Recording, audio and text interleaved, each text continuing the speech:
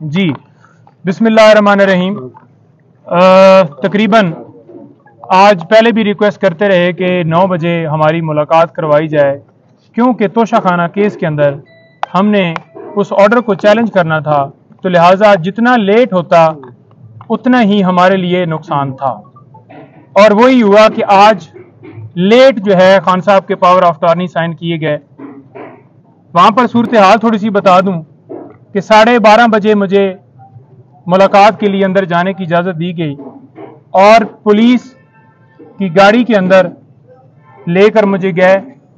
डेढ़, एक घंटे के करीब वहाँ पर मुझे एक कमरे के अंदर जो है वो बिठाया गया और कहा गया कि वो थोड़ी देर तक आते हैं और आपकी मुलाकात जो है करवा दी जाएगी।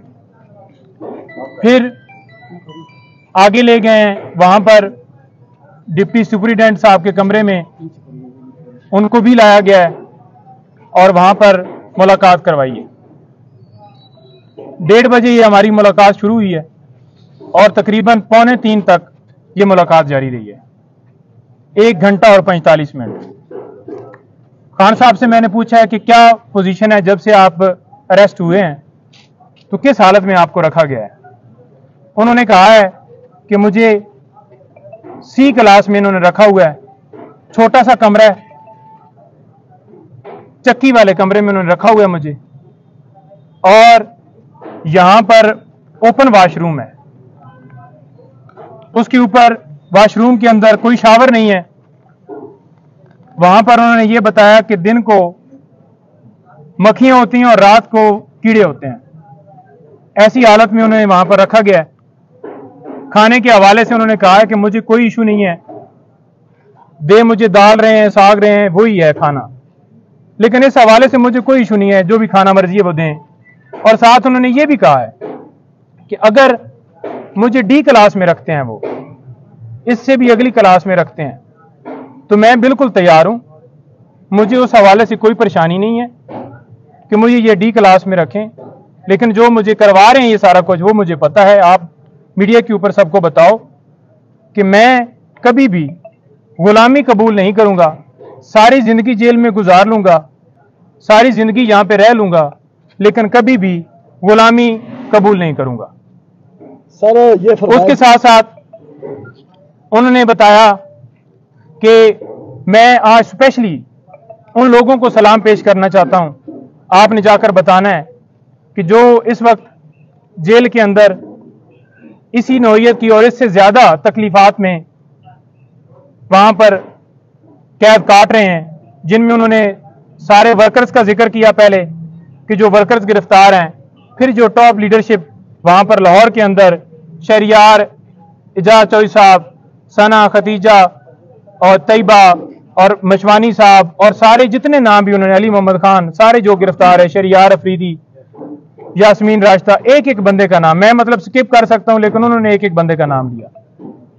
कि उनको मैं आज दोबारा खराज तहसीन पेश करता हूँ, सलाम पेश करता हूँ कि जिस तरह से वो वहाँ पर डटे हुए हैं और गुलामी मंजूर नहीं कर रहे फिर उन्होंने कहा कि ये तीसरा अटैक मेरे घर के ऊपर हुआ है।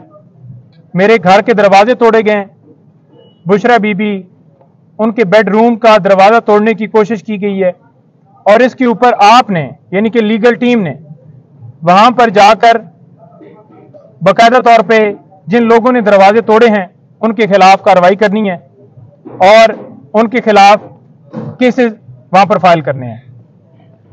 फिर उन्होंने बताया कि मेरे जो गार्ड्स हैं, उनको भी गिरफ़्तार कर लिया और साथ मेरे जो पर्सनल सेक्रेटरीज वगैरह थे, अली खान, अवैस, अली न्याजी, और उनको भी गिरफ़्तार कर लिया।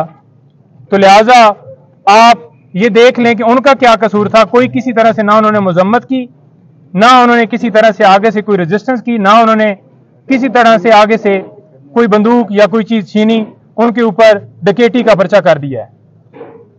फिर उन्होंने कहा है कि जो पीटीआई की कोर कमेटी है, वो फैसला करेगी, जो भी हमारा लाए अमल होगा।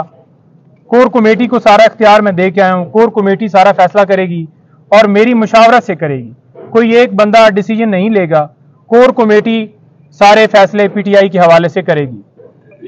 फिर उन्होंने ये कहा कि जो मुझे यहाँ से अगवा किया गया है।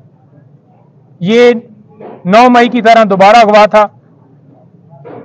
जिस तरह से एक बजे पुलिस फ़ौरन पंजाब की वहाँ पहुँची है ना उनके पास कोई मुझे वारंट दिखाया गया हालाँकि मैं खुद कह रहा हूँ कि मैं चलने के लिए तैयार हूँ। और ज़बरदस्ती मुझे दबोच के कपड़ा डाल के वो गाड़ी के अंदर उन्होंने जाके मुझे बिठाया है। तो ये एक अगवा इस, इस हवाले से मैं कहूँगा कि साढ़े बारह बजे फैसला होता है।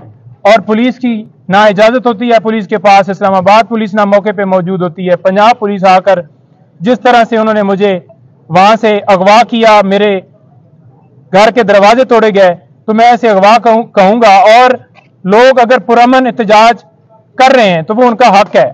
क्योंकि जिस तरह से ये डिसीज़न दिया गया उजलत में और जैसा हमने यकतरफा कार्रवाई की तो पुरमन एहतजाज हर शहरी का हक है और मैंने पुरमन एहतजाज का हमेशा कहा है मैं अब भी यही कहूँगा